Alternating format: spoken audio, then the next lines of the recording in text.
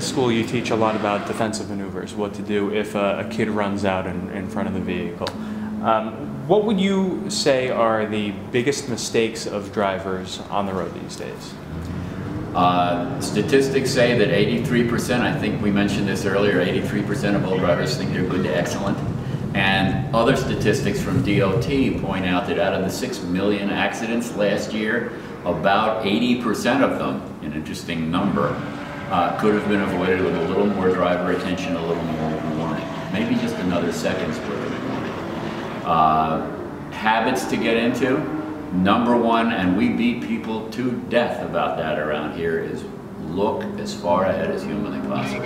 It's hard to get surprised by something you saw coming for 30 seconds. Uh, if you're looking at the hood ornament, everything's going to be a surprise. So that's probably number one. Uh, knowing what your car's capabilities are. The way I describe it to parents who bring their kids to Skip Barber is this. They have no fear. I had no fear when I was 16. Uh, I'll drive right to the edge of the cliff, but we're not teaching our kids where the edge of the cliff is. We don't. We teach them how to parallel park and then give them the keys to a 3,500 pound, 300 horsepower car. Tell them to go out on the Long Island Expressway and have a nice day.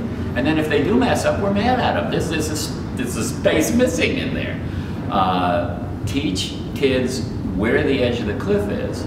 They won't tell you and they won't tell your friends, but they'll stay three feet away from the edge. They really will. They are smart, they're bright, they understand action, reaction. Tell them, give them skills so that they can survive all the weird stuff that's going on out there. You always see drivers going around these days with uh, dogs sitting in their laps.